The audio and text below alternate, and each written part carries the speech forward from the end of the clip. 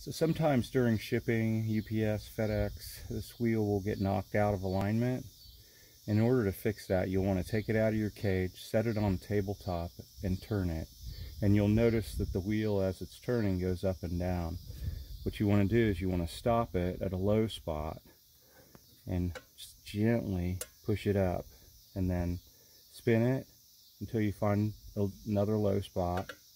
Push it up until it spins true.